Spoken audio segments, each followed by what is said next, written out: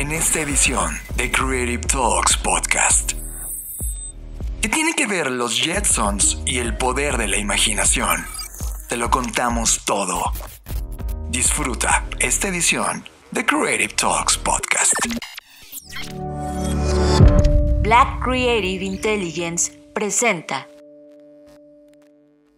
Estamos viviendo la disrupción más grande de la historia de la humanidad, una en donde la creatividad y el desarrollo tecnológico son el centro de una revolución que lo cambiará todo, y tú la estás liderando. Bienvenidos a esta ruptura del espacio-tiempo llamada Creative Talks Podcast. Creatividad, innovación, diseño, negocios y futuros. Con Fernanda Rocha y John Black. Un podcast de Black Creative Intelligence presentado por Blackbot, Black School y Black Bull. Creative Talks Podcast.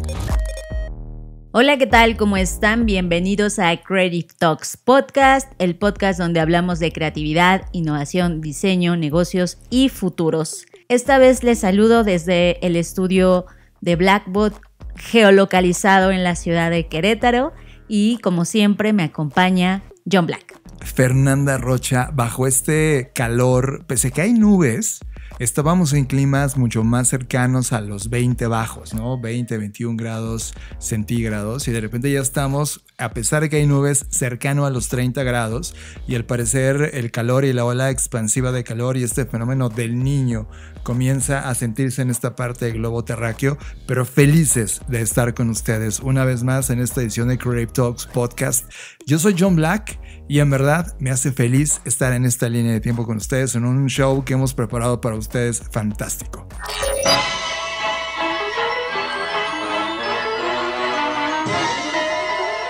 Como ustedes ya se dieron cuenta, tenemos que comentar algo interesante que ocurrió en este viaje a Bogotá. Una de las cosas que hacemos es caminar y caminar a la redonda por el centro, por las colonias y empezar a entender cómo va la vida cultural, social, económica, etc. Y una cosa que siempre hacemos es que cuando vemos una librería nos metemos, no importa que sea esotérica o lo que sea, nos metemos a ver qué hay dentro y encontramos una librería que se llama La Valija de Fuego, el nombre es bastante interesante, en Bogotá, en una de las avenidas principales que se llama Carrera 7 y había libros muy viejos, pero tremendamente seleccionados. Y de repente, estando dentro de esta pequeña librería que además es como una cafetería y tiene alguna zona de exposición en el primer piso, Fernanda empieza a gritar, John, mira lo que encontré. Y no era ni nada más ni nada menos que un libro, un almanaque, más bien una colección de capítulos de los Jetsons en español, en edición 1, publicada en 1963, eh, en España, por cierto, que es verdaderamente una joya. Y nos detonó en nuestra mente todo un potencial de recuerdos y memorias que dijimos, no hombre, tenemos que tenerlo. Aún así, Fer, lo dejamos, no lo compramos ese mismo día. Tuvimos que regresar en Viernes Santo, no recuerdo si era Viernes Santo o Jueves Santo. Sí, era, era Viernes Santo, lo recuerdo bien. Y rezábamos que estuviera abierto para poder encontrarlo. Afortunadamente sí estuvo abierto y sí lo pudimos adquirir, así que ahora tenemos este eh, número en nuestras manos, que son cómics, eh, cómics increíbles.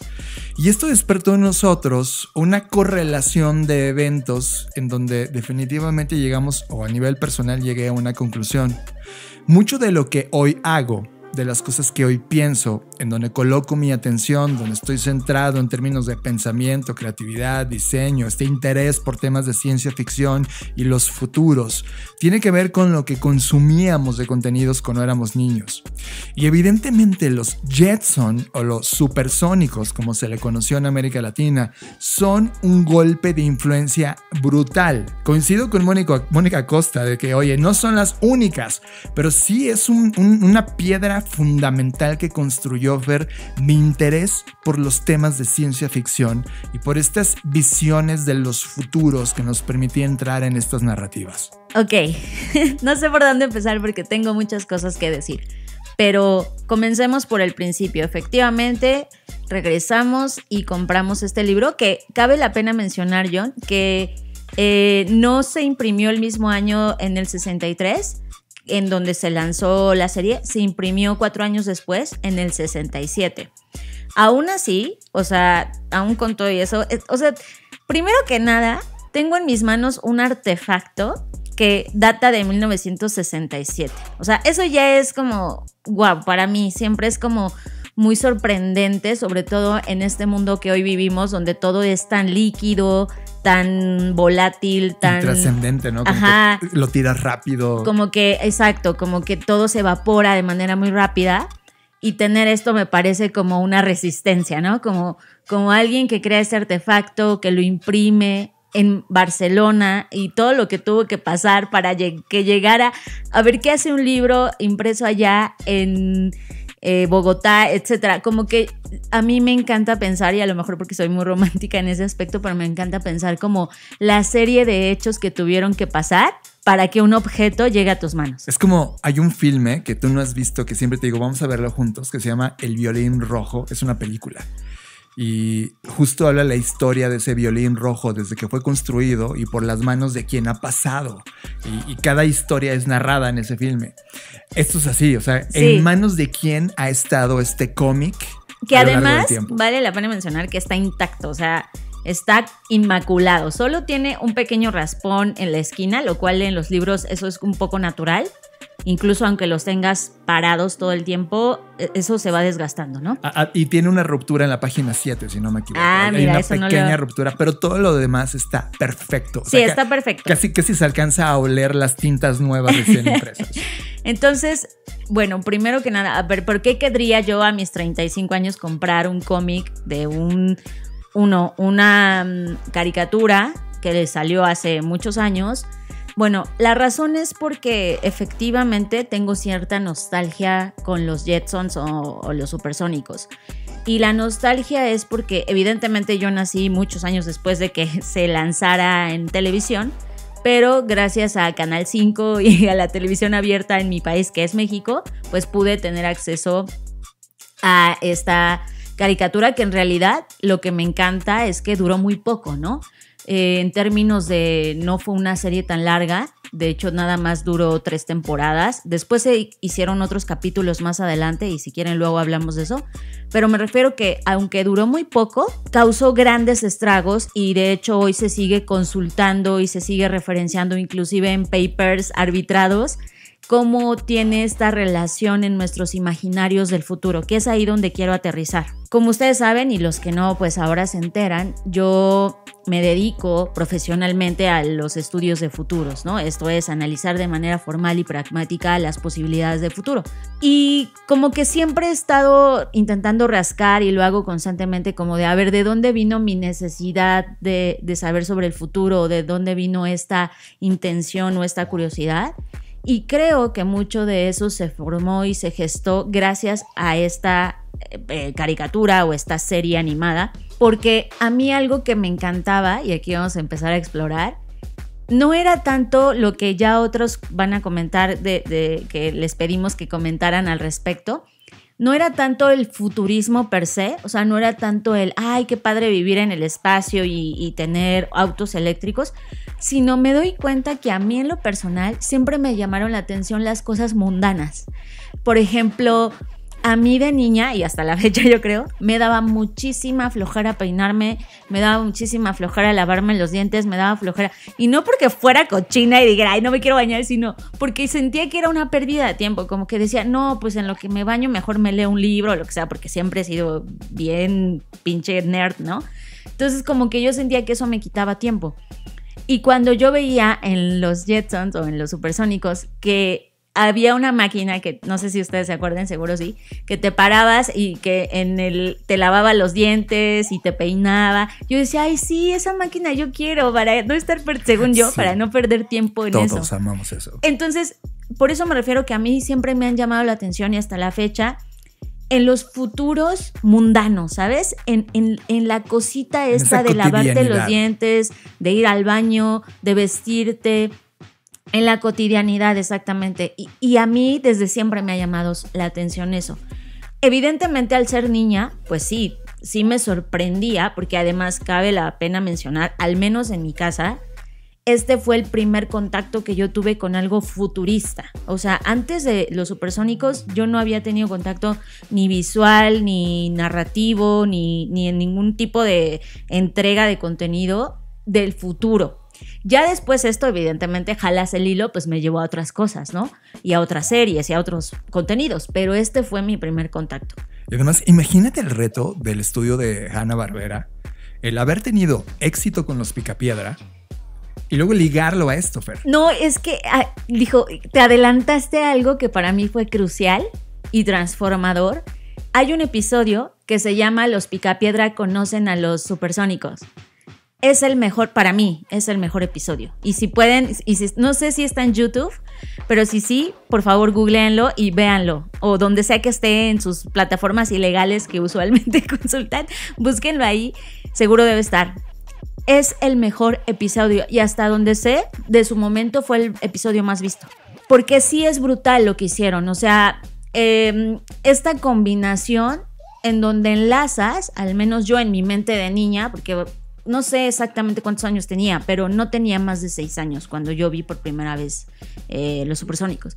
Y me acuerdo que dije, órale, o sea, como que me, quedó muy claro como que era lo mismo, solamente que hasta llegué a pensar como que, ¿qué tal si ellos son la misma familia pero en el futuro? O sea, eso era como que, porque la estructura familiar era, la misma, a excepción de que en los supersónicos, Lucero, no, Lucero es la hermana.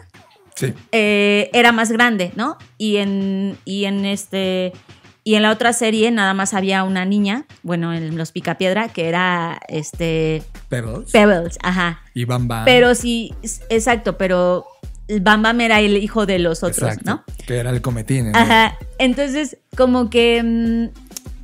Sí, como que yo dije, ah, claro, la misma familia y eso. Y eso me llamaba mucho la atención. Y aquí, por favor, John, pon música triste, porque voy a contar mi historia. Aquí suena el violín más pequeño del mundo a mí algo que me daba mucho en, mis sentimientos de niña era el núcleo familiar, porque consistía en un núcleo que, que, era muy conservador, ¿no? Padre, madre, hijos, perro y una persona, que en este caso no era persona, un robot que te asistía. Entonces, para mí eso era como, ay, yo quisiera así, ¿no? Porque mi núcleo familiar pues, no, era totalmente distinto.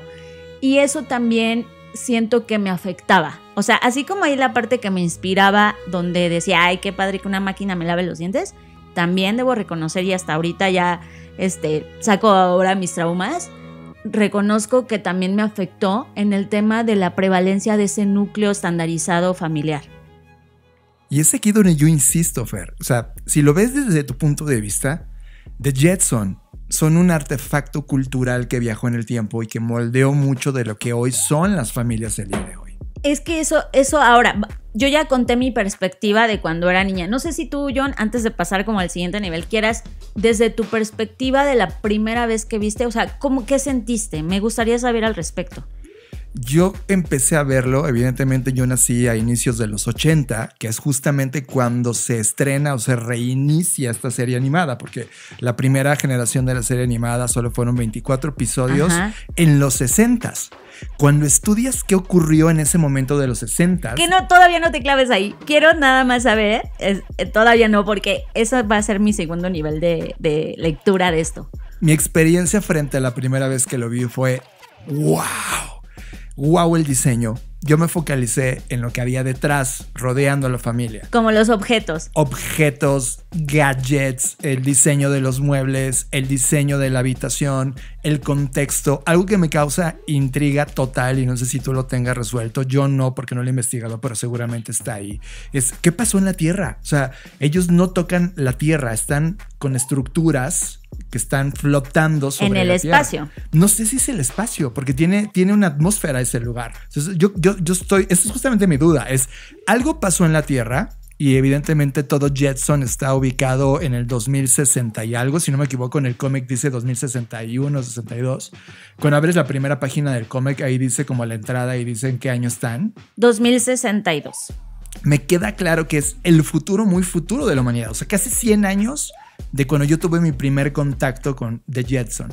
Pero nunca, nunca explicaron qué catástrofe ocurrió en, el planeta Tierra porque evidentemente algo ocurrió, o si ellos mismos están en el planeta Tierra en otro lugar. No, de hecho, aquí, bueno, ahora vamos al siguiente nivel de este análisis. Ya lo analicemos desde nuestra mente de niños, de ay, wow, qué sorprendente. Me encanta, John. Creo que tiene todo que ver cómo nos vamos desarrollando. Me, me, no me asombra que te hayas fijado en los objetos, ¿no? O sea, siento que tú eres mucho más orientado a esa parte como del diseño industrial, etcétera, y, entiendo que te hayas concentrado ahí, a diferencia de mí que yo me concentré en cómo se cepillaban los dientes, ¿no? tú más social, yo más uh, industria, gadget y tecnología, ¿no? Y sí, a ver, vamos a poner las cartas sobre la mesa.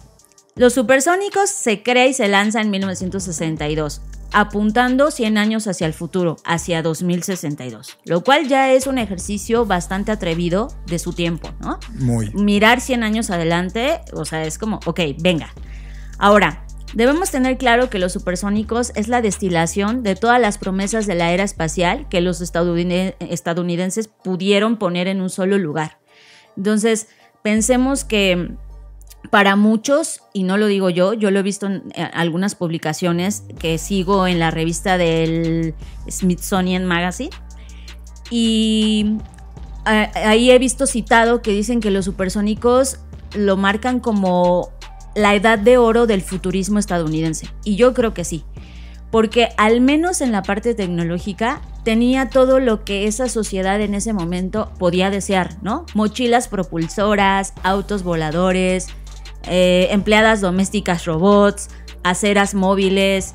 Eh, entonces, ahora lo que hay que reflexionar es que Hanna Barbera, ni Hanna ni Barbera, que son los dos creadores, fueron como los las mentes maestras en el sentido de no crearon nada de eso. Lo que hicieron fue recolectar lo que otros ya habían plasmado. O sea, por ejemplo, hay eh, un libro que igual es de la época, que se llama, en español sería 1975 y los cambios por venir. Y ahí Arnold Barak imaginó un montón de cosas como la lavavajillas y un montón de aparatos que los creadores de los supersónicos tomaron como referencia y bueno, pues pusieron. Además, la estética, John hablando del diseño que te encantaba, había una corriente llamada Googie en el sur de California, donde justamente se ubicaron los estudios Hanna-Barbera. Entonces ellos estaban como en ese contexto que representaba de alguna forma u otra las promesas de libertad, de modernidad, de la cultura de consumo posguerra. Me encanta, Fer, porque eh, desde lo que estás analizando, este sin duda es un proyecto cultural un panfleto narrativo que potenciaba la visión que el capitalismo en ese momento estaba siendo discutido. Era como, mira, está la visión capitalista, está la, visión socialista del mundo, está esta carrera de la Guerra Fría, esta búsqueda de exploración espacial, mirando el qué pasaría si tú seleccionabas el capitalismo como la respuesta correcta y entonces jugaras a dónde nos iba a llevar esa decisión. Sí, y, y algo que sí quiero enmarcar es que la pregunta que tú hacías de qué pasó con la Tierra, eso nunca nos lo contaron porque ese no era el propósito de la serie. La serie tenía una tendencia mucho más tecnoutopista al prometer que la tecnología iba a ser de nuestra vida una vida mejor y nunca se ve la tecnología como algo amenazante. Digo, hay veces en las que de repente Robotina se volvía loca y ponía como algunos preceptos o ideas sobre qué pasaría si algo salía mal, pero en, en lo general tendía mucho a hacer esta tecnoutopía de decir, oye, la tecnología es un gran aliado, eh, todo además está como muy, muy bien diseñado, terminado, pulcro, etcétera, ¿no? Sí, en la misma, en la misma entrada de la serie 2, o sea, con la que se estrena en los 80s, en el intro está el papá corriendo en una banda eléctrica junto con Astro, el perro, y va a tal velocidad que empieza a dar vueltas, vueltas y vueltas y ella dice auxilio, ¿no? O sea, te enseña estos, estos sí, había como pequeños problemas, pero nada catastrófico. o sea, nada que alguien se muriera ni corriera peligro. Ahora, ¿sabes qué? Si es el planeta Tierra, Fer, abriendo el cómic, y te das cuenta, no, en la página 1, sino en la, en, la contraportada, hay una, hay una visión ahí que dice la luna. Sí, sí. O sea, eh, sí están en la Tierra, ¿eh? O sea, ellos, ellos sí están en la Tierra. Pues bueno, a ver, más allá de saber si están exactamente en la Tierra, yo creo que estaban orbitando la Tierra, que eso es diferente a estar en la Tierra. Estaban orbitando la Tierra, porque iban de vacaciones a Venus y así, ¿te acuerdas? Bueno, Claro, sí, sí, el cierto. punto es que, eh, regresando al tema del estilo y el diseño y de la tecnoutopía, recordemos, como bien decías, estaban los temores de la Guerra Fría, todo lo que daba. Y acababa, bueno, no acababa, pero el lanzamiento del Sputnik, eh, que fue en 1957, pues estaba creando esta ansiedad y este como frenesí de la amenaza comunista. Así que bueno, eh, en febrero de 1962, y esto lo quiero mencionar, John Glenn se convirtió en el primer estadounidense en orbitar la Tierra. Por eso creo que ellos estaban orbitando la Tierra, porque estaban inspirados en eso. Brutal. Y además la serie se estrenó unas semanas después de que el presidente de ese entonces en los Estados Unidos, John F. Kennedy, diera su famoso discurso Ah, sí. sobre la luna, prometiendo que esta generación, esta década, Estados Unidos iba a conquistar la luna. Exacto. Y hacerlo no porque fuera fácil, sino porque iba a ser un reto que podían vencer. Exacto. Por eso yo creo que estaban orbitando. Así que bueno. We choose to go to the moon in this decade and do the other things, not because they are easy, but because they are hard. Because that goal will serve to organize and measure the best of our energies and skills. Because that challenge is one that we're willing to accept, one we are unwilling to postpone. And therefore, as we set sail, we ask God's blessing on the most hazardous and dangerous and greatest adventure on which man has ever embarked. Eh, desde mi perspectiva, esta es la razón por la que resonó esto tanto y sigue resonando a lo largo de la historia, ¿no? Porque, pues, queramos o no, nos mostraba cómo iba a prosperar la tecnología en el futuro, que no necesariamente ha ocurrido de esta manera, pero era una visión, como ya lo dije, utópica de lo que podría ocurrir. Hoy en día, digo, ¿dónde está mi mochila propulsora? Pues no está, ¿no? O ¿dónde está el auto volador? Si bien hay prototipos y han habido, no está en las calles Es en que este espera, estamos en el 2020, en, en esa década. Esto estaba en el 2060. Claro. Todavía hay espacio. Todavía es esperanza. Claro, pero también, ya hablando en serio, pues nos remite a una nostalgia por ese futurismo de antaño, ¿no? Como retrofuturismo, que sí tuvo consecuencias, porque sí, es, sí que es verdad que varios diseñadores, sobre todo industriales de la época, se inspiraron en la serie a su vez, porque ya dijimos que la serie se inspiró a su vez en otros eh, diseñadores, para crear como nuevos artefactos o al menos proponer, de hecho, es, eh, en China, me parece, alguien intentó recrear exactamente el vehículo volador y hizo un prototipo. Y, o sea, sí ha inspirado como decir. Yo siento que es a manera de un concepto que se conoce como hiperstición, que a diferencia de las supersticiones, la hiperstición es algo como que tú te lo prometes tanto que tienes como la obligación de cumplírtelo a ti mismo. Y siento que mucho de las ideas de los autovoladores que no nos hemos terminado de cumplir fueron por esto. No fue porque realmente la tecnología esté preparada, sino la hiperstición nos llevó a creer tanto en eso que ahora lo queremos hacer tangible, ¿no? Que es mucho de lo que habíamos platicado en otros capítulos sobre cómo las historias narrativas o este tipo de artefactos culturales tienen un impacto mucho más grande que los, que los papers científicos.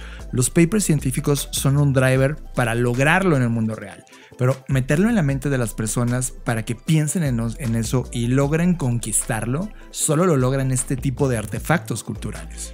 Sí, que por eso yo te decía que esto en donde sí tuvo como un acierto es no crearon nada nuevo en términos de ya estas ideas eh, de máquinas propulsoras, etcétera, ya lo habían pensado otros artistas, pero lo que hicieron fue compilarlo y meterlo en un solo lugar y mostrárnoslo en una narrativa.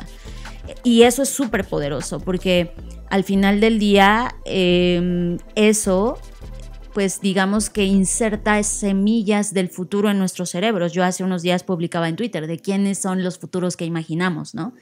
Y la gran mayoría de las veces no son nuestros, son un compendio y una colección de las cosas que hemos visto y a partir de ellos reaccionamos y nos imaginamos ciertas cosas porque están sembradas esas semillas en, nuestra, en nuestro imaginario. Ahora, si esto era tan bueno, ¿no? Si los supersónicos eran tan increíbles, ¿por qué solo duraron tan pocos episodios? Y un investigador que es londinense, que de hecho tiene un libro que es como el manual de cómo ver los supersónicos, yo me muero por tenerlo. Sí, yo también.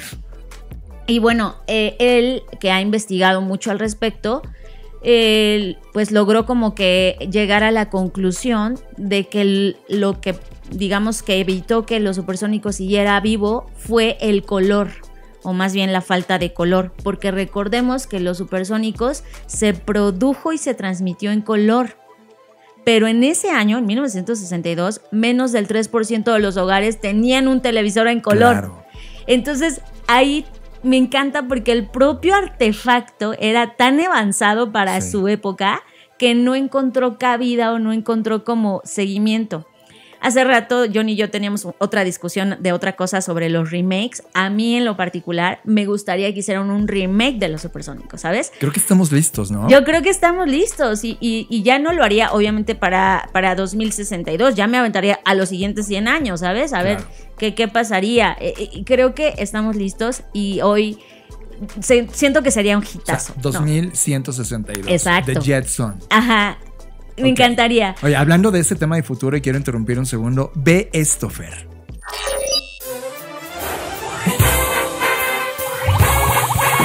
Fast selling Future Eye. Only three left in stock. Wow. Order now.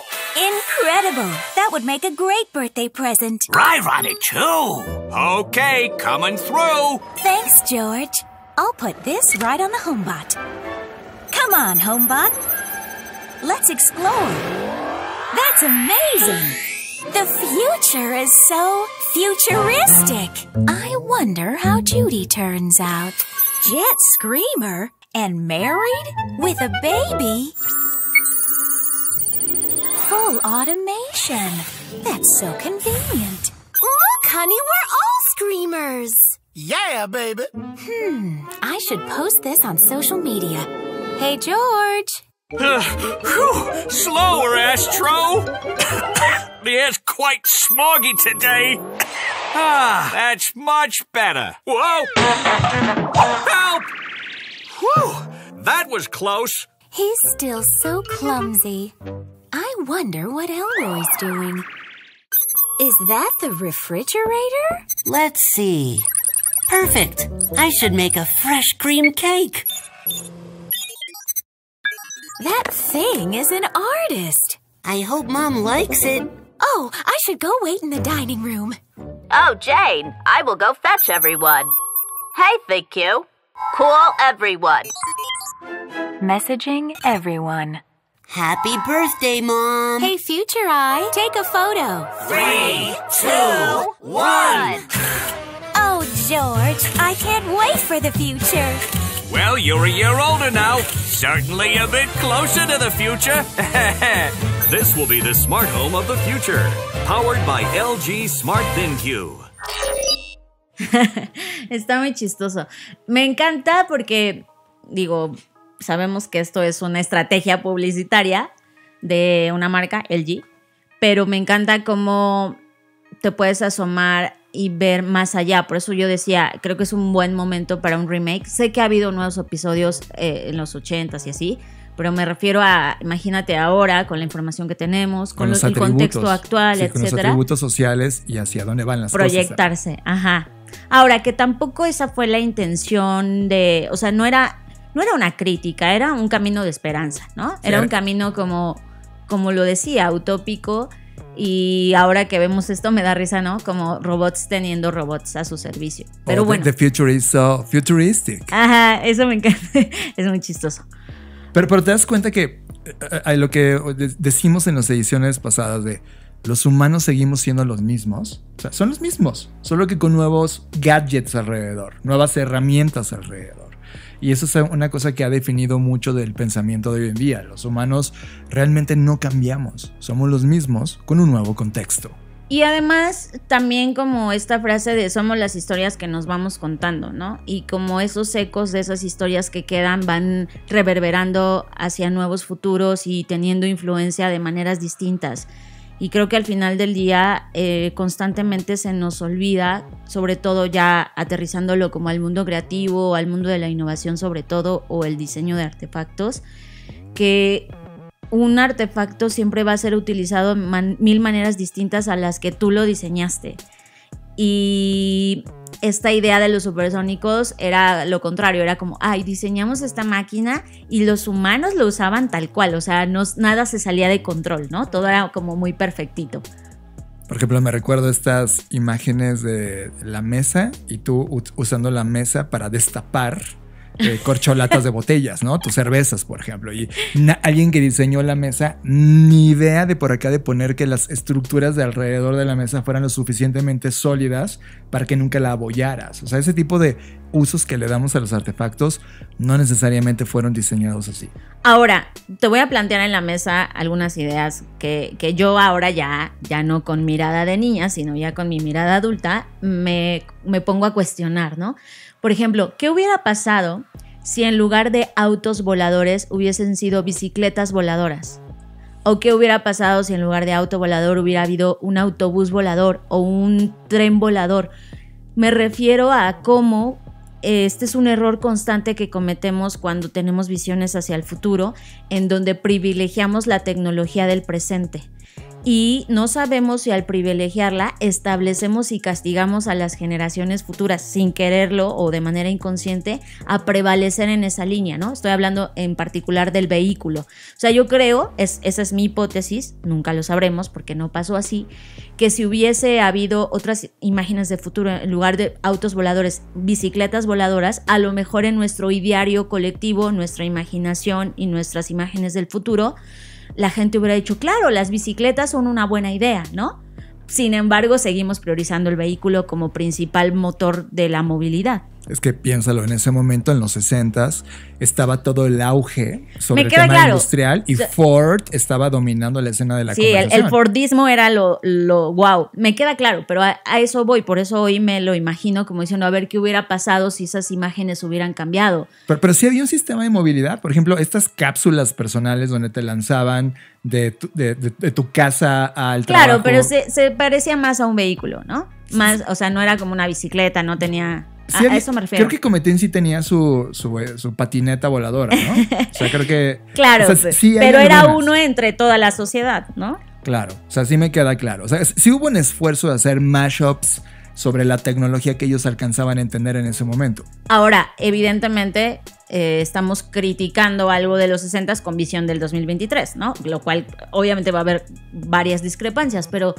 también me, me, cuestiono como de, ah, claro, este, todos eran blancos, ¿no? No había ninguna representación de otras culturas, no había afroamericanos, no, o sea, eso también es como los sesgos, a eso me refiero. ¿no? Sí, pareciera que esta es una ciudad Google que sobrevive al, apocalipsis. Muy perfectita, todos bonitos, todos blancos, todos, ajá. Ahora, el tema tiene que ver que no había esa cultura en ese momento, no había esa conversación de, género, no había esa gran apertura que hoy tenemos en los... Exacto, por eso decía, estoy juzgando algo que, que es un poco injusto. Bueno, pero al final lo que sí vale la pena recalcar es que creo que, eh, no sé si a ustedes les pasa, pero la propia animación era diferente. O sea, era diferente a otras caricaturas. Eh, eh, el ritmo, no, no sé exactamente, porque obviamente yo no soy profesional de la animación ni dibujante, pero había algo que la hacía lucir distinta. No sé si ustedes también lo notaron. Y, a mí me gustaba eso también. O sea, como que yo sentía que cuando veía los supersónicos había otro fenómeno ocurriendo en mi televisión, ¿sabes? No era igual a, ninguna caricatura, no solamente por la historia y la narrativa futurista, me refiero a los dibujitos, eran diferentes. Inclusive, aunque luego ponían casi siempre los picapiedra, ya sea antes o después, ¿no? sí. O sea, creo que venían uno de uno atado al otro en la misma barra programática. Eh, sí había diferencias, aunque era el mismo nuclear, eh, familia nuclear que tú identificaste, Fer, sí yo también sentía eso. Y cuando veías cualquier otra cosa, la verdad es que no se parecía a los Jetsons. Es más, el intro mismo, la música de banda que habría de Jetson, era una obra maestra por sí misma. Es exquisita, una mezcla de jazz con banda, pero instrumentos de viento, eh, esto se puede tocar como una obra maestra de Vivaldi en su momento. De verdad era brutal y no, no todo el tiempo veías estas sumas de, de, de atributos artísticos en una serie animada.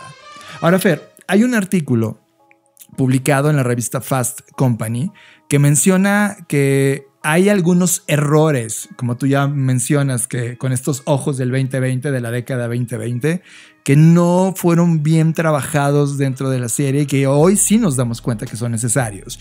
Y ponen tres argumentos y los voy poniendo en la mesa cada uno para discutirlos. El primer argumento, los estereotipos de género. Sí, ya, es lo que yo te, un poco te decía. Que podemos calcular que, por ejemplo, Jane, que es la hija, ¿no? Que más o menos tiene unos 25, 35 años, está en esa línea. Todavía era una adolescente, posadolescente, cuando se, convirtió, se convierte luego en madre. Ella es la jefa de una empresa de reciclaje, pero no parece implicar mucho trabajo en ese momento. Pero piensa en eso es jefa de una empresa de reciclaje. Nos estaba dando como una visión de que el mundo tenía que tener una compañía de este, de este estilo, pero Jane no tiene este papel que tiene hoy las mujeres en la sociedad actual y creo que esa es una corrección importante sobre este estereotipo de género que todavía no aborda este proyecto. Hay un libro publicado en los 70s, si, si la serie hubiera eh, nacido en los 70s, ocho años después, no en ese 1961, 62 cuando se creó, había un libro que creó, creó todo un movimiento de liberación de la mujer, como The Female Enoch the German Girl, publicado en los 70s, que fue lo que realmente movió toda la escena feminista de la época. ¿Qué hubiera pasado si se hubieran encontrado con esos contenidos en los 70, si se hubiera esperado 10 años más? Creo que hubiéramos tenido una mejor representación en temas de estereotipos de género. Sí, totalmente. Bueno, y además se entiende porque, pues, como ya lo mencionamos, veníamos de la era de la posguerra y las prioridades en ese momento estaban mucho más concentradas en, el tema de la Guerra Fría que en haber representación de cualquier tipo.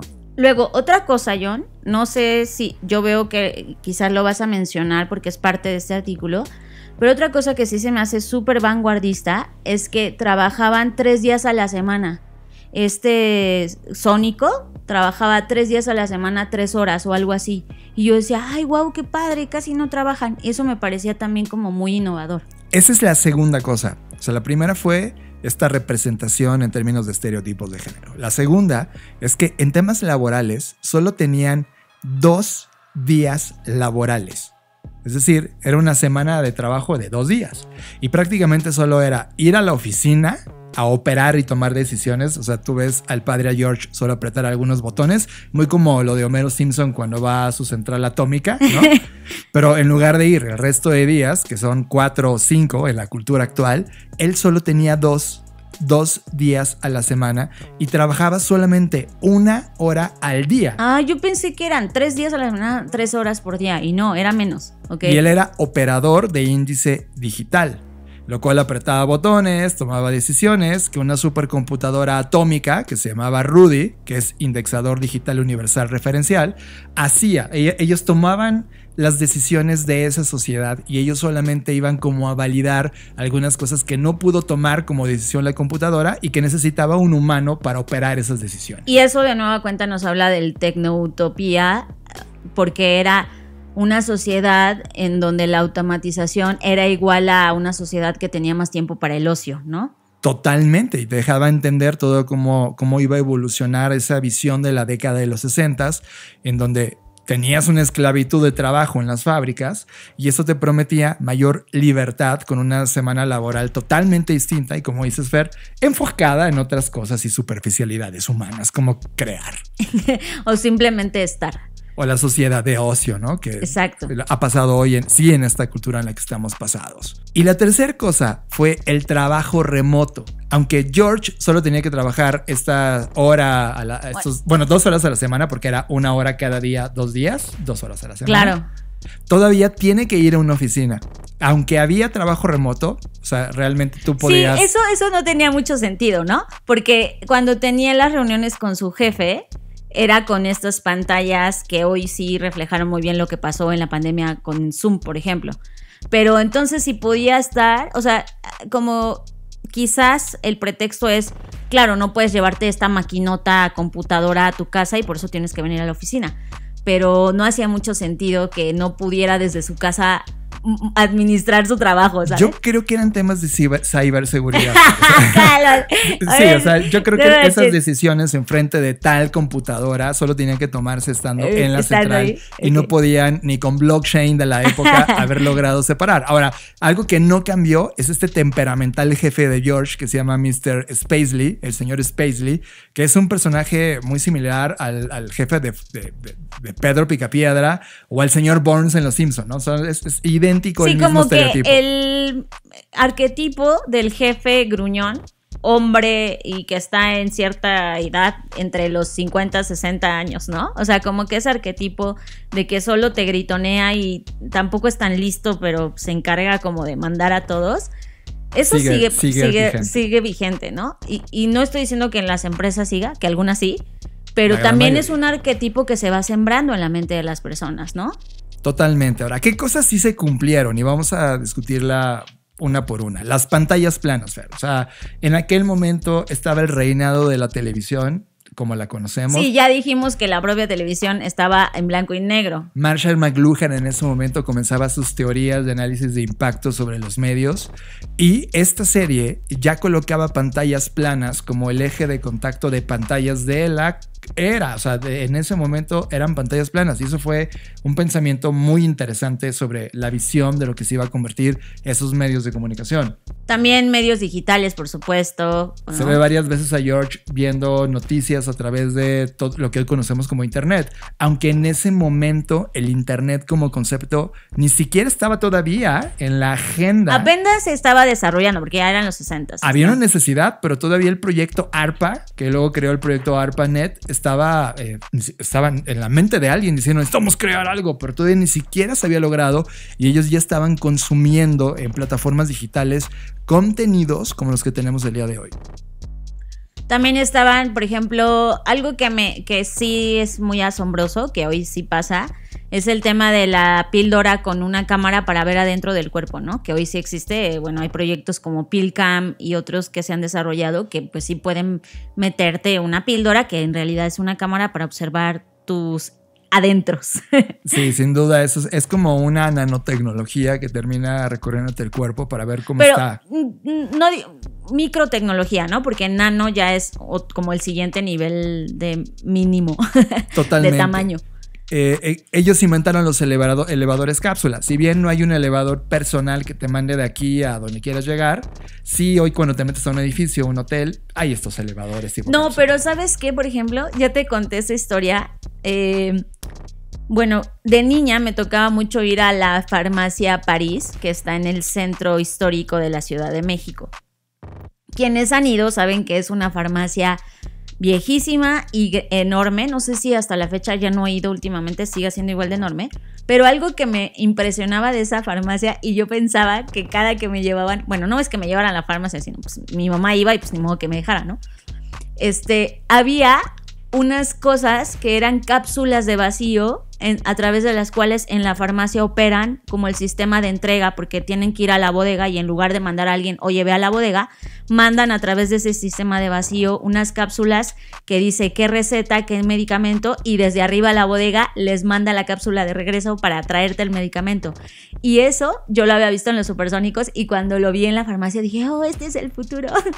Claro, se sentía así, ¿no? Muy Jackson. Ahora, también había nuevos deportes. Recuerdo que en algún momento eh, eran fan, sobre todo los, los varones, de un tipo de fútbol americano reinventado. Y esa, eso era interesante, que todavía los deportes estaban vivos en ese momento, los deportes en vivo, o sea, ir a verlo, luego transmitido a través de plataformas, pero habían reinventado el fútbol americano. Eso, eso creo que sí debería pasar, por ejemplo. Esas cosas no han pasado, o sea, Digo, ahorita está pasando algo con el fútbol y lo que están haciendo este Ibai, Ibai en España, sí. Ajá.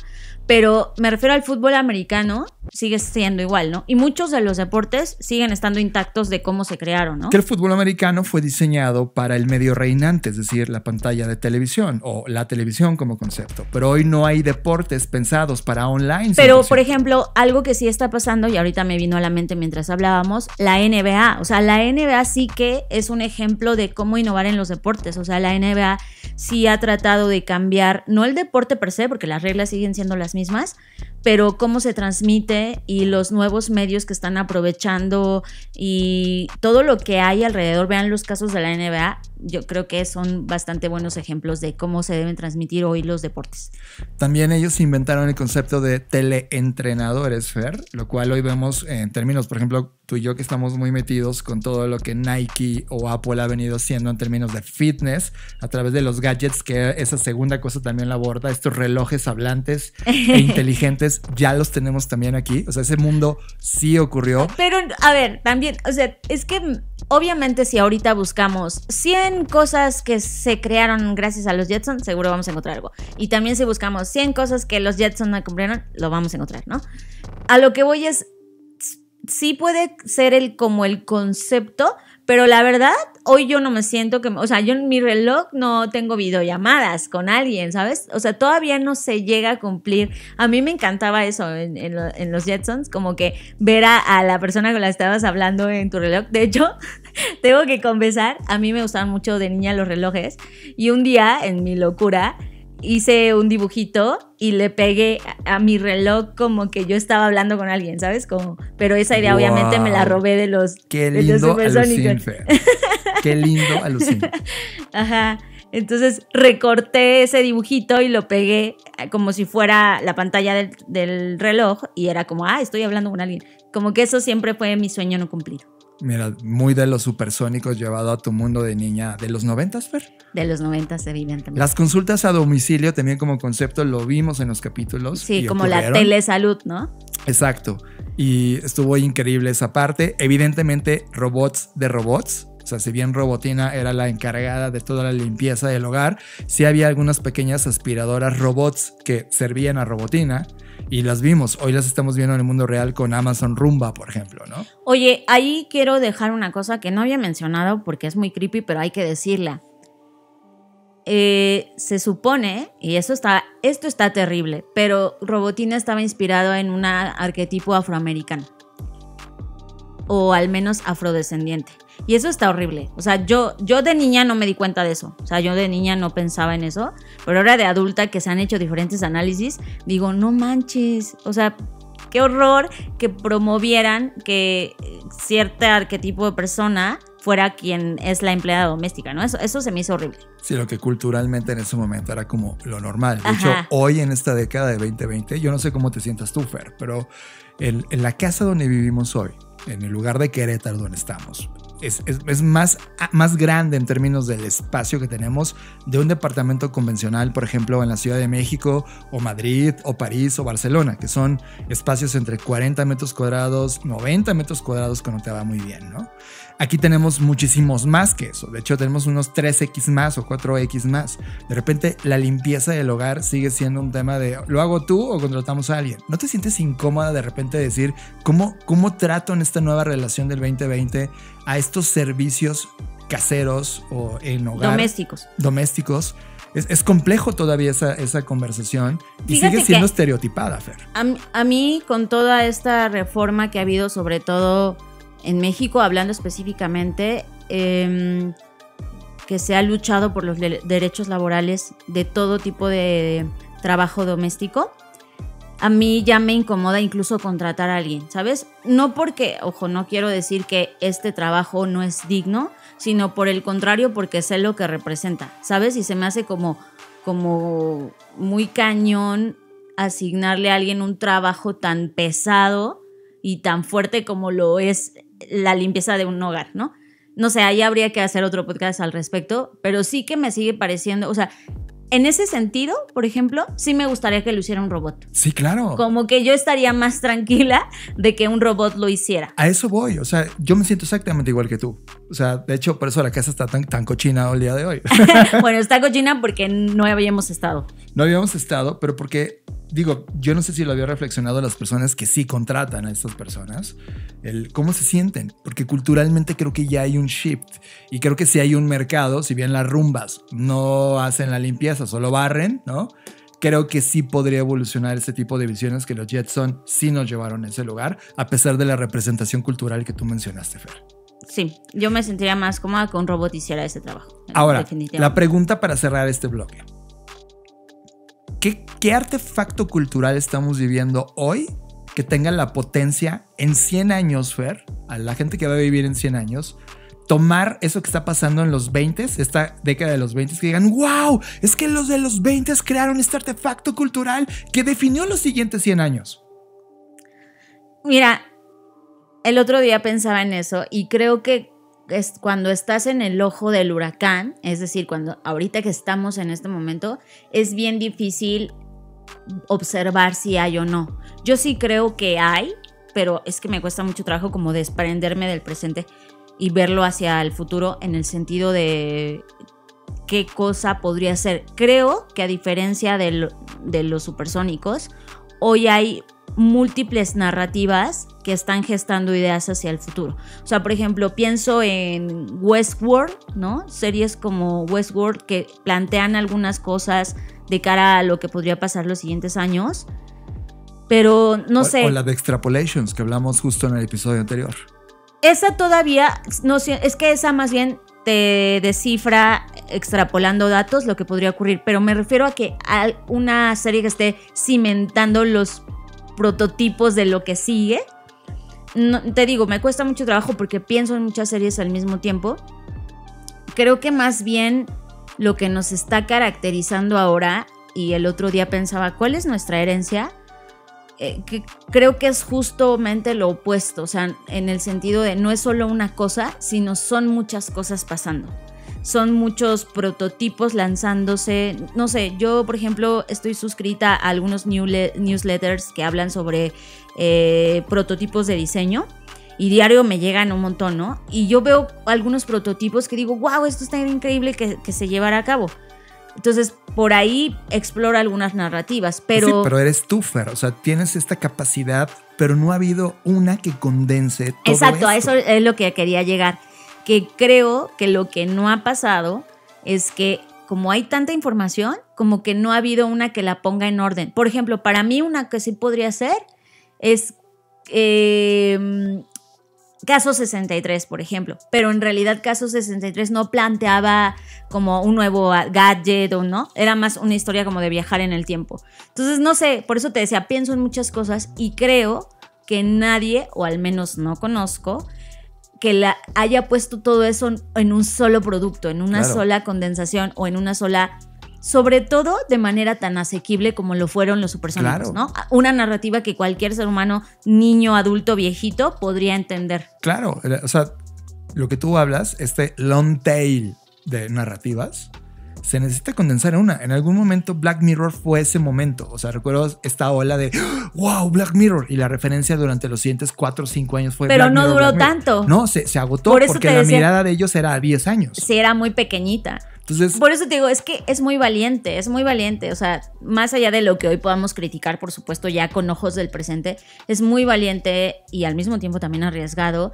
que alguien señale los siguientes 100 años, ¿no? Y aquí voy a traer una conversación que cuando estuvimos en Barcelona la vimos. Cuando la compañía State mostró en ese momento el video principal de bienvenida al evento Off, que decía, este es el último video probablemente hecho por humanos. Creo que la siguiente gran narrativa, la siguiente gran Jetsons, va a ser construido por una colaboración humanos y algoritmos. O no, o al contrario, ¿no? Siempre está esta posibilidad de a lo mejor vamos a huir de pensar con las máquinas y vamos a insistir y arraigarnos a pensar con humanos, no lo sé.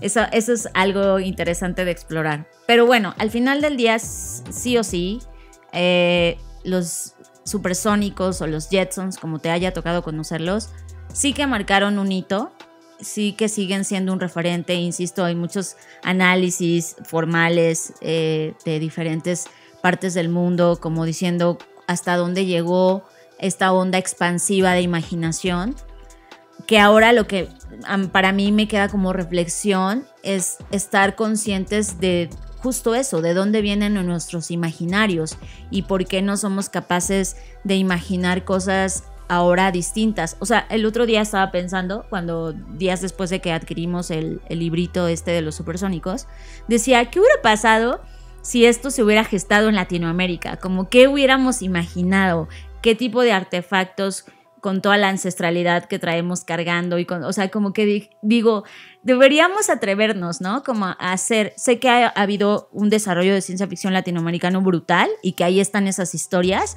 pero justo que no tienen tanta visibilidad como en su momento lo tuvieron los supersónicos, ¿no? Entonces como que digo, qué increíble sería que, que, otras... Eh, personas de otros lugares, de otros territorios, se atrevieran a contar y a disparar hacia el futuro a 100 años y decir cómo se imaginan eso. Sería increíble, ¿no?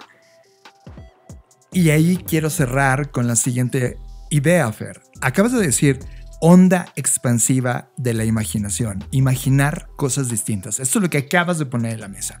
Y hay una frase que quiero discutir contigo para ir cerrando este podcast. La frase la colocó Albert Einstein y dijo, la imaginación es más importante que el conocimiento. Y estuve leyendo en la semana en una plataforma de contenidos que se llama Big Think, que realmente tienen contenidos increíbles, en donde analiza por qué se ha malentendido esta frase, imaginación es más importante que el conocimiento. Y la cita célebre la pone en contexto y quiero hacer una síntesis de lo que acabo de ocurrir y la importancia o lo importante que es imaginar. Aunque Einstein continuaría escribiendo muchos artículos tremendamente influyentes a lo largo de su vida como la relatividad general, este en particular, en 1929, en una entrevista que, de una persona que se llama George Sylvester para el Saturday Evening Post, Einstein dijo, y lo leo textual, Creo en la intuición y las inspiraciones. Cuando dos expediciones de científicos financiadas por la Real Academia salieron a probar mi teoría de la relatividad, yo estaba convencido de que sus conclusiones coincidirían con mi hipótesis. No me sorprendió cuando el eclipse del 29 de mayo de 1919 confirmó mis intuiciones. Me habría sorprendido si me hubiera equivocado. Entonces el periodista le dice, ¿entonces confías más en tu imaginación que en tu conocimiento? Y responde, soy lo suficientemente artista como para dibujar libremente en mi imaginación. La imaginación es más importante que el conocimiento. El conocimiento es limitado, la imaginación rodea al mundo. Pero la versión más famosa, Fer, de esta cita surge en un escrito posterior en un libro donde Einstein en 1931 llamado Religión Cósmica y otras opiniones y aforismos escribió mientras hablaba sobre el mismo tema ese tema del eclipse de 1919 y lo leo textual. A veces me siento seguro de que tengo razón sin saber la razón. Cuando el eclipse de 1919 confirmó mi intuición, no me sorprendió lo más mínimo. De hecho, me habría sorprendido si hubiera resultado lo contrario. La imaginación es más importante que el conocimiento, porque el conocimiento es limitado, mientras que la imaginación abarca el mundo entero, estimulando el progreso, dando luz a la evolución. Es estrictamente hablando un factor real en la investigación científica. ¿Por qué lo traigo en la mesa, Fer? En las últimas 15 horas de mi vida he estado leyendo mucho sobre el impacto de la tecnología en la educación y evidentemente todo lo que ha venido ocurriendo con la inteligencia artificial y este impacto que tienen estas plataformas que hoy conocemos sobre el futuro de la educación conectándolo con los Jetson y con todo lo que hemos hecho en este podcast, en donde creemos que la creatividad es una de estas herramientas fundamentales para el futuro de la humanidad, cada vez que retomamos el pasado, cada vez que damos un vistazo a lo que se pensaba antes sobre esta importancia de los humanos de imaginar, de crear, de intuir, que hoy en día no nos enseñan en la escuela, creo que es algo tremendamente importante. Y les digo esto porque en las últimas horas otra vez regresé al trabajo de Ken Robinson. Ken Robinson es una persona que ya no vive en esta línea del tiempo, dedicó toda su vida a explorar estos huecos en sistemas educativos, explicando por qué la creatividad debería ser tan importante como enseñar matemáticas. Lo que Ken decía, oigan, ¿cuántas horas le destinamos en términos científicos a entender matemáticas? A pesar de que tenemos un cuerpo más grande que la cabeza, no enseñamos danza o baile en las clases. Y para él era tremendamente importante esto. Les dejo esto que Ken Robinson dijo en su TED Talk en una síntesis donde argumenta que la creatividad y la imaginación es tan importante como la ciencia. If you think of it, children starting school this year will be retiring in 2065. Nobody has a clue what the world will look like in five years' time, and yet we're meant to be educating them for it. So the unpredictability, I think, is extraordinary. Really, um, extraordinary capacities that children have. Their capacities for innovation. And my contention is all kids have tremendous talents, and we squander them pretty ruthlessly. Um, so I want to talk about education, and I want to talk about creativity. My contention is that creativity now is as important in education as literacy, and we should treat it with the same status. What we do know is, if you're not prepared to be wrong, you will never come up with anything original. If you're not prepared to be wrong. And by the time they get to be adults, most kids have lost that capacity. Uh, they have become frightened of being wrong. And we run our companies this, by the way. We stigmatize mistakes. And we're now running national education systems where mistakes are the worst thing you can make. And the result is that we are educating people out of their creative capacities. I believe this passionately that we don't grow into creativity, we grow out of it. Or rather, we get educated out of it. Every education system on earth has the same hierarchy of subjects. Everyone, doesn't matter where you go. You think it would be otherwise, but it isn't. At the top are mathematics and languages, then the humanities, and the bottom are the arts, everywhere on earth. And in pretty much every system, too, there's a hierarchy within the arts. Art and music are normally given a higher status in schools than drama and dance. There isn't an education system on the planet that teaches dance every day to children the way we teach them mathematics. Why? Why not? We all have bodies, don't we? Truthfully, what happens is, as children grow up, we start to educate them progressively from the waist up. And then we focus on their heads and slightly to one side. Our education system is predicated on the idea of academic ability. And there's a reason. The whole system was invented around the world. There were no public systems of education really before the 19th century. They all came into being to meet the needs of industrialism. So the hierarchy is rooted on two ideas. Number one, that the, the most useful subjects for work are at the top. And the second is academic ability, which has really come to dominate our view of intelligence because the universities designed the system in their image. And the consequence is that many highly talented, brilliant, creative people think they're not. Because the thing they were good at at school wasn't valued or was actually stigmatized. We need to radically rethink our view of intelligence. We know three things about intelligence. One, it's diverse. Secondly, intelligence is dynamic. Intelligence is wonderfully interactive. The brain isn't divided into compartments. In fact, creativity, which I define as the process of having original ideas that have value, more often than not comes about through the interaction of different disciplinary ways of seeing things. I believe our only hope for the future is to adopt a new conception of human ecology, one in which we start to reconstitute our conception of the richness of human capacity. Our education system has mined our minds in the way that we strip mine the earth for a particular commodity. And for the future, it won't serve us. We have to rethink the fundamental principles on which we're educating our children. We have to be careful now that we use this gift wisely. Only way we'll do it is by seeing our creative capacities for the richness they are and seeing our children for the hope that they are. And our task is to educate their whole being so they can face this future. By the way, we may not see this future, but they will. And our job is to help them make something of it. Thank you very much.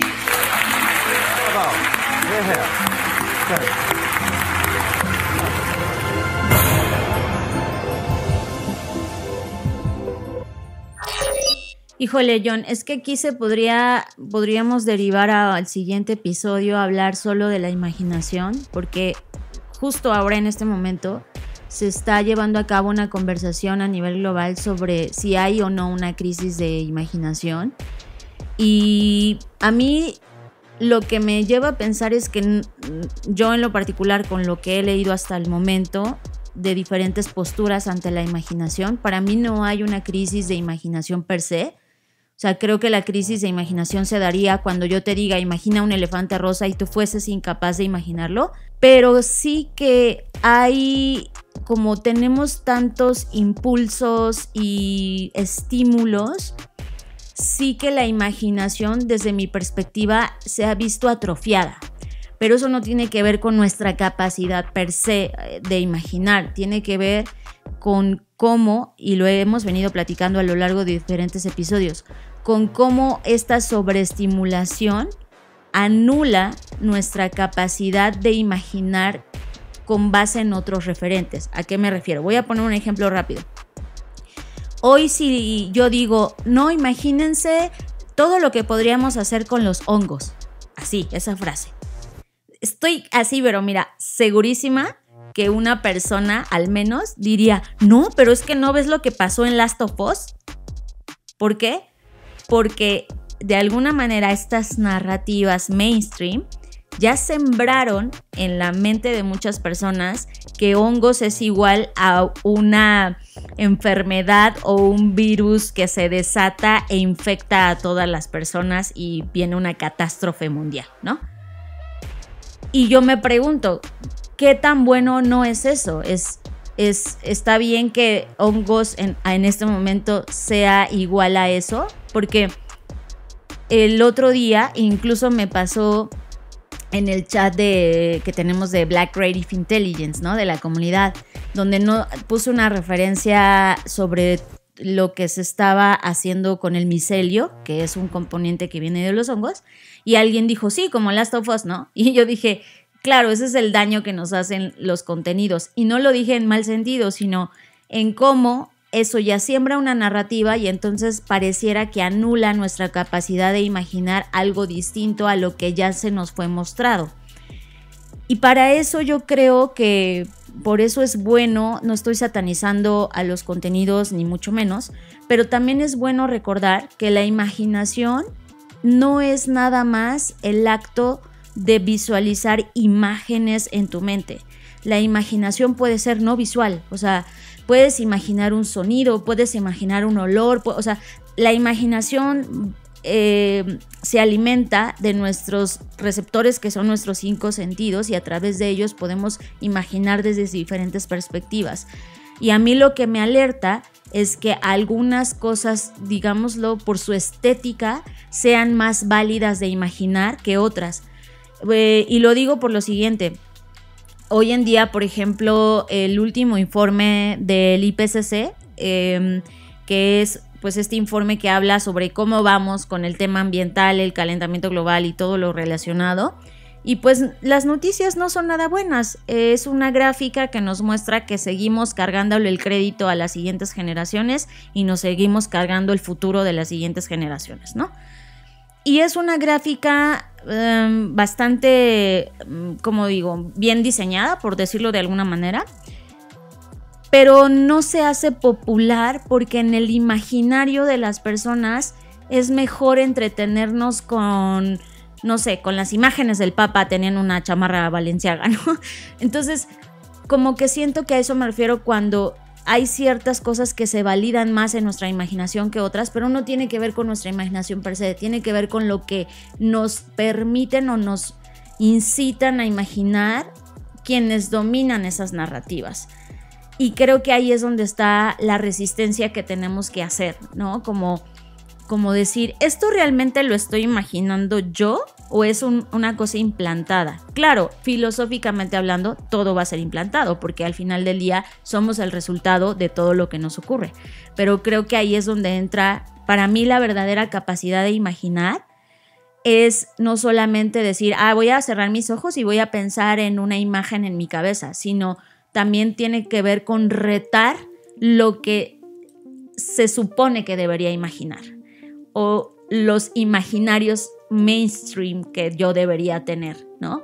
Creo que la capacidad de imaginar es justo romper con eso y decir, no, yo desde esta perspectiva, desde lo que soy, desde lo que pienso, desde lo que defiendo, desde mis valores, mis creencias, mis sesgos, etcétera, me puedo imaginar otras cosas a lo ya imaginado. Y creo que ahí es donde está el valioso recurso de la imaginación.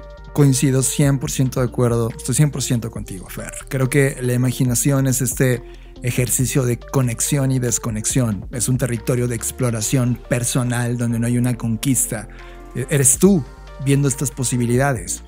Y yo, si bien creo que no hay una crisis de imaginación, sino que hay una conquista de la imaginación. Sí. O sea, es- están conquistados nuestros imaginarios a través de estas narrativas como tú dices, se volvió mainstream o están ocurriendo en las pantallas a través de algo que Giovanni Sartori diría como lo movidens que, que había puesto en redes sociales en la semana, pero que es algo nuevo. Es, ya no es una sociedad teledirigida, es una sociedad algoritmi dirigida. Y esa palabra justo la dijimos también en el podcast pasado. Yo creo que también, Fer, hay una esperanza que mi corazón vuelva a palpitar y, y sigo abrazando esa palpitación el día de hoy porque sigue más que viva. Tú y yo, en este último viaje que hicimos, recorri- recorriendo las calles de Madrid, y si no me equivoco fue un sábado o domingo muy, muy temprano cuando se ponen los tianguis de pulgas en las distintas partes de la Mercados de pulgas. Mercados de pulgas.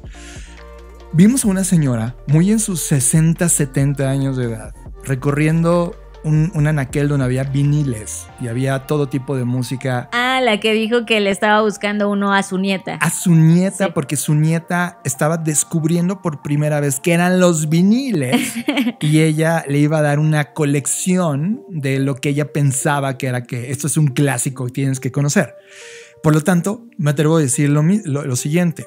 En este, en este momento, lo que tú y yo consideramos viejo es nuevo para alguien que no lo conocía. Por supuesto, eso es el conocimiento siempre. Así es, siempre. Y se va reciclando una y otra vez. Y por eso creemos que este tema de algo nuevo no existe, porque realmente es una suma de cosas en un ciclo. Y ese- esa niña, pero imagínate la imagen de esa niña. No sabemos si tiene 7 años, o 8, o 10. Por lo que entendí, era adolescente. Era adolescente. Y se está preguntando por la música de sus abuelos, ¿no? Y su abuelo dice, le voy a llevar una colección increíble. No sé si llevaba a Perales o llevaba a ACDC. Me da igual. El hecho de que está, estén conociendo el formato vinil me gusta. Y lo mismo pasa con el fenómeno Game Boy y con el fenómeno Walkman y volver a grabar música y playlist o ediciones de podcast en Walkman. O lo que estamos viendo de Tetris y que está llegando a una conversación, inclusive ya hay una película de cómo Tetris nace y llega al mundo de los videojuegos. O sea, creo que estos ciclos se están re- regresando en términos de una curación, Fer, de lo que las generaciones que ya conocimos esas cosas, estamos compartiéndoles a los que no, a los que van haciendo. Me imagino tú y yo a nuestros sobrinos cuando les hablemos de esto, ¿no? Oye, ¿ya conociste esta banda? No, wow, era Gorilas, la primera banda que bla, bla, bla, y para él era nuevo, ¿no? Creo que la imaginación sí va a ser cíclica. Creo que si sí vivimos esta crisis que se siente, que estamos empezando a pensar igual todos iguales por este algoritmo, creo que todavía hay oasis de alternativas con estas nuevas generaciones cuando conecten eso viejo para nosotros, pero nuevo para ellos que les permita imaginar nuevas cosas. Es que yo justo no lo dejaría solo en manos de las nuevas generaciones, porque creo que ese es un pecado que, hemos cometido todas las generaciones de decir, ay, no, es que las nuevas generaciones van a hacer esto, van a hacer aquello. No, o sea, sí, qué bueno si, si lo hacen y les nace hacerlo, qué bueno, pero no deberían estar obligadas a hacerlo. Yo creo que más bien es un tema de nosotros, aunque ya hayamos vivido esa tecnología, encontrar nuevas formas de reconectarla con el contexto actual. O sea, yo- es decir, yo creo que no es solamente una, como una obligación o- o una cosa que las nuevas generaciones tienen que hacer. Creo que nosotros mismos deberíamos estar obligados, de alguna forma, en el buen sentido de la palabra, a ver las cosas con nuevos ojos. Porque para mí también eso es parte del proceso de imaginación. Imaginar no es solamente imaginar algo nuevo o lo nuevo entre comillas. Imaginar también es ver con nuevos ojos lo que ya conocías, ver con nuevas expectativas lo que ya pasó por tus manos. Creo que también eso es parte del proceso de imaginar. Me encanta esa, esa, esa posibilidad de imaginar, pero si no realistas no ocurre. O sea, voltea a ver a tus papás o a tus abuelos. Nunca se atrevieron a lo nuevo. Por ejemplo, mis papás jamás entendieron la música que yo escucho. Claro, Hoy, pero mi mi- generación... ni tus papás ni mis abuelos son el mundo. o Lo entiendo, pero son la gente que tiene cercana. Por ejemplo, mi generación, la- mis amigos o la gente que conozco, ya se cicló. O sea, ya no están entendiendo que, qué música coreana están escuchando hoy los jóvenes y por qué salen a bailar en la calle. Lo ven como algo raro y de no conozco nada. Tú y yo, a pesar de que comemos todo esto nuevo, hay cosas que se nos escapan de los dedos. Por eso yo sí creo, o sea, yo la verdad, yo veo mi generación actual, mi generación, y está ciclada. Es, perdón, los millennials están ciclados. Desde Kurt Cobain para acá, ya no migraron a algo nuevo, ¿sabes?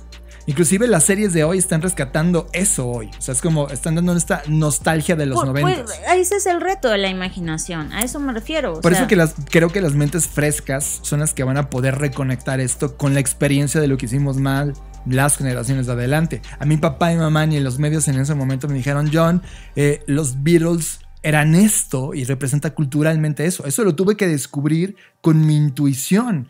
¿Cuántos descubrieron Beatles? ¿Cuántos saben que existió un Kurt Cobain? De la nueva generación. ¿Te das cuenta? Son esas las oportunidades. Yo sí creo que mientras más viejo te haces en este planeta, más abraza las cosas que conoces, por seguro que es, te dan seguridad.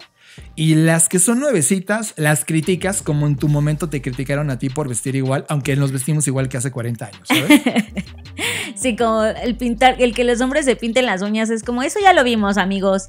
Este, ¿no? Ya, sí, sí te entiendo, pero por, por eso lo pongo en la mesa. O sea, es un, es un punto de provocación y reflexión decir, claro, las nuevas generaciones, entiendo, tienen nuevas referencias, los ojos frescos, el- el- el- esta avidez por conocer, etcétera. Pero creo que eso es algo que también el resto de personas no deberíamos perder. A eso, a eso me refería, como obligarnos o entrenarnos y provocarnos a nosotros mismos y decir, a ver, ¿cómo puedo esto volverlo a, o, colisionarlo con lo nuevo, ¿no? Como lo que tú y yo estamos intentando hacer de grabar los podcasts en otros formatos. en Walkman, en, en Desk. O, o, por ejemplo, ¿sabes? Los museos son ese artefacto que logran mostrarnos una línea del tiempo. Tú y yo en Bogotá, en el Museo Nacional, fuimos a una exposición particular de hip hop, de lo que ocurría en la escena de los 80s y 90s en Bogotá. Y la única forma de descubrir lo que estaba pasando en las calles y en el graffiti y en la música urbana y el rap y el hip hop y la música y los sneakers no era a través de las revistas norteamericanas, era a través de yendo a Bogotá y encapsularnos en ese pequeño espacio donde ellos lograron crear una curación de ese momento. Esos son los momentos de como de exploración de cosas que no te tocaron a ti. El tema es, en internet existe esto con esta capacidad que tiene hoy, no sé, algo mainstream como el reggaetón. Eso es lo que me pregunto. ¿Se ha perdido, Fer? Porque algorítmicamente le das prioridad a lo, a lo fácilmente consumible y no a lo de fondo. Es que eso, eso no estoy de acuerdo, porque para la imaginación, cualquier cosa es materia prima. O sea, a mí por eso yo, yo nunca he criticado a, ningún tipo de género musical. Ah, yo sí. Y, y sobre todo cuando me veo, veo las letras, digo, no es posible que estemos en estos tiempos. Ya me veo como señores de, de 70 años. Exacto, a eso voy. Es como, no es posible que muevan las caderas así cuando veían a Exacto, Elvis. a eso voy. Pero espera, espera, hay un te tema. vas transformando No, poco a poco en tema- lo que juras Güey, destruir. hay un tema de las letras donde dices esto no es posible. Sí, pero mira, el otro día alguien hacía un análisis bastante, bastante real. Es, el 1% de las letras de todo, porque todo lo demás no es eso. Y, y nada más porque el 1% de eso son letras obscenas, ya se escandalizan todos y dicen, es que todo el reggaetón es así. Y no es cierto, pero bueno, el punto a lo que voy es que justo eso es un ejemplo. Es eh, ahorita algunas personas, y digo algunas porque no me incluyo en ese grupo, les parece muy malo que el reggaetón sea masivo. Y es como, claro, como le pareció a las personas que el rock se masificara, siempre es así. Y a eso voy, es la imaginación. Hoy en día yo me meto a cualquier plataforma y veo cómo a través de la deconstrucción de un montón de cosas, generan cosas nuevas a partir de algo que a lo mejor en mis manos hubiese parecido basura. Y para mí ese es un proceso grandioso de imaginación, que para alguien se pueda convertir en materia prima y decir, a ver, ¿cómo transformamos esto en algo poderoso, potencial o simplemente en algo que te aporte a ti y a lo mejor nada más te enteraste tú y tu familia y ya está? O sea, creo que al final del día también de ahí viene la crisis de imaginación, porque entonces alguien nos dice, no, no debes imaginar cosas con reggaetón porque eso es malo y es como, pues no, porque es parte de lo que está ocurriendo y de los insumos que tienes en su momento, así como hubo otros artistas que tenían otros insumos en su momento, como en el arte sacro, en donde hoy yo podría decir, güey, ¿por qué dibujaban eso? Si está horrible, lo que sea, pero yo entiendo que esa era la materia prima de su momento, que la iglesia era el patrocinador del momento y entonces entiendo que por eso en los imaginarios se plasmaba eso. Entonces, creo que al final del día eh, es muy chistoso lo que contas ahorita porque es el fenómeno que nos ocurre a todas las generaciones, donde criticamos y señalamos que lo que están haciendo es está mal y están no sé qué. Y es puede que esté mal desde una perspectiva que tú tienes, por supuesto, siempre hay una postura, pero al final del día sigue siendo materia prima para la imaginación. Yo lo entiendo, lo entiendo, me queda claro. Y no estoy en contra del reggaetón. El reggaetón sí le quita la letra de Bad Bunny, me encanta el ritmo. O sea, te lo he dicho un millón de veces. Te, a ver, di una letra de Bad Bunny ahorita. Ay, no, no me. No te la sabes. por, supuesto que no meto ese tipo de mierda a mi sistema. Perdón, lo único de mierda que me como son unas papitas. Y ya, eso no, culturalmente no puedo. En la guagua se siente el olor de tu perfume. Tú eres una bellaca, yo soy un bellaco, solo que no Y se lo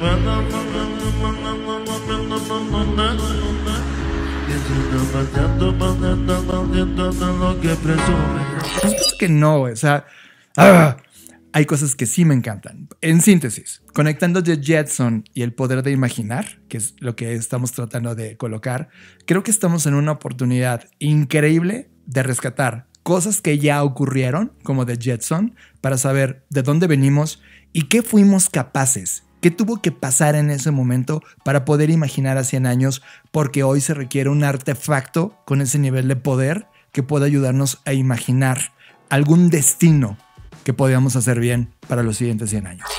A mí algo que me llamó mucho la atención de los supersónicos fue la autonomía. Los personajes podían, los niños, en este caso el hijo y la hija, podían volar en naves espaciales autónomas a, otras partes del, universo porque pues eh, realmente iban a entidades en el espacio fuera de la atmósfera y ellos iban solos en su nave, ¿no? Eso a mí me llamó mucho la atención, esa idea de, de vivir y convivir en el espacio con, una autonomía desde niños, además de la autonomía que tenían la, esta robotina que, y los demás robots eran robots eh, que los percibías como personajes, o sea, tenían una, una, inteligencia artificial desarrollada y tomaban decisiones y los considerabas una era parte de la familia, pero como si fueran seres pensantes. Entonces, esa idea de, robots eh, inteligentes y autónomos también fue algo que, a mí me llamó mucho la atención. A mí lo que más me gustaba de los supersónicos era que podían, eh, por ejemplo, en segundos peinarse de diferentes formas, un estilo cambiaban a otro, a otro, maquillaje, comida, hacían una u otra, eh, se cambiaban de ropa en un instante podían decidir eh, entre una forma de vestir u otra. Creo que eso era lo que más me gustaba. Bueno, ah, para mí Los Jetson es una de las series eh, favoritas de mi infancia porque me enseñó a pensar en la tecnología como un habilitador era prácticamente la única posibilidad que tenía un personaje simplón como el señor Jetson para poder alcanzar a salir adelante de todos los problemas con los que se enfrentaba en esa vida futura. Pues para mí los Jetson lo que proyectaban era este sentido como de, un, de una paz zen vinculada a llegar a ese punto en el futuro. Si se fijan o si recuerdan, cómo fuera de cuando eh, Supersónico salía al tráfico volador, el entorno era como muy pacífico, ¿no? Inclusive el que estén apostados eh, en las nubes tiene esta transferencia de cierto sentido, ¿no? Como la tecnología, eh, llegar a ese punto utópico de tecnología es como alcanzar el cielo. Entonces, esa es una configuración que quedó ahí, ¿no? Y probablemente muchos de los grandes creadores de tecnología lo tienen en su psique, ¿no? De que la tecnología por sí misma resuelve y nos lleva al cielo, Y ahora entendemos que no es solamente eso. Entonces los Jetson, eso era lo que me gustaba, ¿no? Eh, ese futuro pacífico, celestial, eh, que lo daba la tecnología. Como muchos en México, en Latinoamérica, los supersónicos como yo los conocí, yo los conocí de niño, creo que el que más influyó fue que todo se veía limpio, que todo parecía como terminado. cómo resolvieron esos problemas que hoy tenemos y por qué vivían en, en las alturas o en el espacio, qué pasó con la Tierra. Creo que lo que más influyó fue el hecho de que robotina, todos queríamos una robotina o un robotino, ya lo veríamos hoy, ¿no? Hoy sería algo diferente, tal vez sin género. Esa parte es lo que más, más influyó, que todo, esa robotina que podía limpiar la casa y esa limpieza que parecía habían alcanzado y tienen el tiempo libre. Antes de las temporadas, antes de los doblajes, antes de todo eso, verlo con ojos de niño, los supersónicos, como algo, una ventana al futuro, un futuro posible. Sin saber, puede haber un, un episodio sin saber si era el principio, el final, la temporada o lo que sea. Verlo así, de una manera como simplista. Bueno, una de las cosas en las que más me influyó los supersónicos, que me acuerdo que lo veía y me apantallaba mucho, era la capacidad de hacer la comida en instantes, sin tener que utilizar muchos ingredientes y, cuando simplemente apretaban un botón y ya salía algo procesado y listo para comer. Para mí era fantástico y creo que es algo que ahorita influyó mucho en mi vida porque siempre busco opciones que reduzcan el tiempo de comida, el tiempo de consumo, pues, cosas que puedan ser como pastillas o estos batidos que ya incluyen todas las vitaminas, como para poder reducir el tiempo del desayuno o el tiempo de, de la cena, sobre todo, porque quiero cenar más ligero y no este y pues no tardar tanto en llegar a la casa después del trabajo y eh, ponerme a guisar. Entonces creo que eso es lo que más se me, se me quedó grabado y, y algo que sí aplico hoy en día.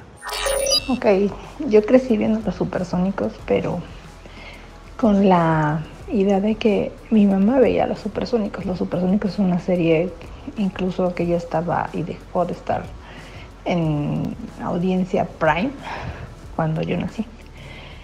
Eh, lo que es interesante es que los supersónicos al mismo tiempo es lo que hizo Julio Verne en 1800. Eh, generar una idea conforme a tu entorno de cuál sería tu visión del futuro. Y yo creo que al final, eh, pues eso es lo que impulsa a mucha gente a alinear ciertas tendencias o ciertos objetivos con lo que tienes a la mano. Entonces, eh, los supersónicos influenciaron a que hoy hubiera una rumba, hoy hubiera videopresencia, bueno, videollamadas, eh, hoy hubiera agentes a los que le llamas. Lo único que me falta y siempre quise y no encuentro aún es una robotina. Pero creo que al final son los que marcan la pauta de los desarrollos que hay eh, para tecnología y para negocios. Entonces, creo que alguna vez lo comenté en alguna plática o en un bookshake o en una charla con Jonathan y Fer. Eh, ¿Qué es lo que esperamos ahora de las nuevas series? De lo que están viendo ahora la gente para poder impulsar el futuro en tecnología y negocios. Yo lo que disfrutaba mucho de los supersónicos era que mostraba en una familia tradicional herramientas diferentes, pero ya conocidas de actividades cotidianas. Hoy que lo veo con otros ojos, de adulta, lo que me llama la atención es que al final esas herramientas, aunque ya la gran mayoría existen, seguimos teniendo las mismas pulsiones como seres humanos, seguimos teniendo la necesidad de comer, seguimos teniendo la necesidad de pertenencia, seguimos teniendo la necesidad de autorrealización y de compartir eh, pues con las personas que queremos. Seguimos siendo humanos al final del día con las mismas necesidades fisiológicas con las que nacimos porque son parte de nuestra naturaleza. Hola a todos. Pues con los Jetson o los supersónicos. Yo creo que lo que más me impresionaba, particularmente en mi caso que no vengo como de un, digamos, contexto privilegiado, o sea, era como ver o imaginar que en un futuro esa tecnología podría llegar como hacia todas las personas, digámoslo así, o sea, que podía haber como reflejado un futuro en, en unas condiciones pues mejores a los que en mi infancia me tocó verlas, ¿no? O sea, no sé, por ejemplo, esta parte de la automatización, de tener, eh, como ahorita escuché un audio, ¿no? De este botón que te ayudara con ciertas funciones o que te hiciera las cosas más fáciles y más sencillas. Creo que visualizarte como en ese futuro sacándote un poquito de la realidad y ver que sí se pueden hacer cosas bastante interesantes, ¿no? Por ahí en algún, en algún reportaje leí que justo era importante construir esos imaginarios del futuro para que las generaciones, las nuevas generaciones, pues tuvieran esta visión de poder hacer algo con sus vidas en lugar de irse pues hacia caminos como eh, digamos delincuencia, ¿no? Eso viene en un informe que sigo buscando porque lo leí en algún momento, pero si lo encuentro pues igual lo comparto aquí en el grupo, pero justo no como esta imaginación del futuro que puede hacer que las generaciones cambien hacia bien y que creo que ahorita es bien difícil poder tener esa visión. Pues para mí los supersónicos fueron una caricatura fascinante, ¿no? Cuando era niño, este, pues veía, ¿no? Los carros voladores, las, los robots, las videollamadas, todo eso, ¿no? Y creo que pues ya llegamos a esa época, salvo los coches voladores, pero ya tenemos todo. Pero si nos damos cuenta, pues todo lo, la parte social de estar comprando, ¿no? Si recuerdan a la esposa de Supersónico, pues siempre estaba comprando, pues eso sigue estando, ¿no? Sigue, seguimos yendo al doctor, ¿no? Sónico iba al doctor por videollamada, esto sucedió en la pandemia.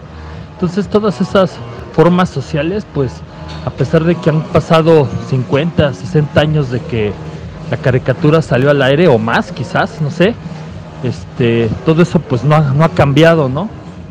Y eso es lo que pues nos tenemos que dar cuenta que los seres humanos realmente en el fondo no evolucionamos, solo evoluciona nuestra tecnología, pero muchas cosas se siguen quedando igual, ¿no? Y están definidas por el status quo. Estás conectado a Creative Talks Podcast con Fernanda Rocha y John Black. ¿Saben qué es la carne de cultivo? Cuando se habla de carne in vitro es que realmente es carne. De eso va el primer episodio de Querido Futuro, el futuro de la alimentación, pero nos vamos a enfocar de manera específica en el cultivo de la carne.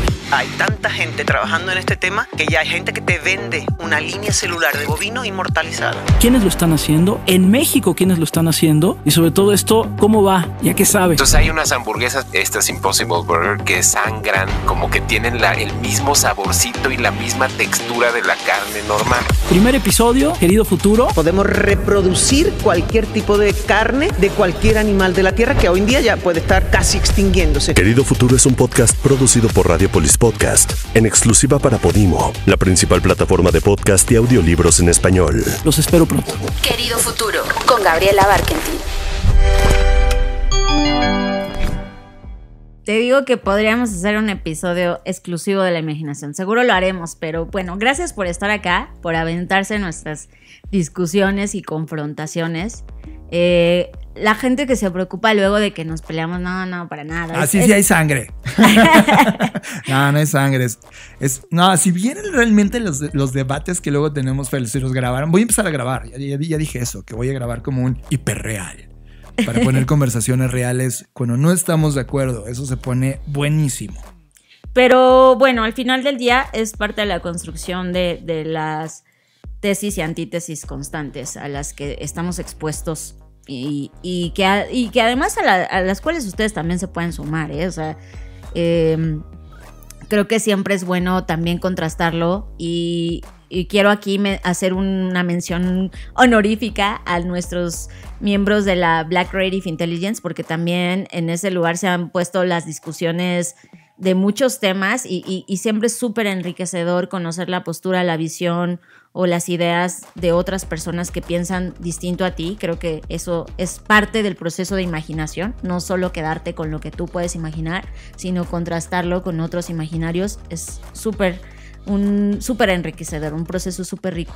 Pero bueno, pues gracias por estar acá, gracias por suscribirte, gracias por escucharnos y pues no sé, John, ¿algo más que agregar? Yo sí quiero agradecer a las voces que escuchamos de Víctor Tirado, a Javier, a Ramiro, a Arad, a Mónica Acosta, a Karina, a Robert, a Azu Baeza, a quién más me hace falta, Javier, a Vanessa Monreal, que dejaron estos comentarios que son parte de la BCI.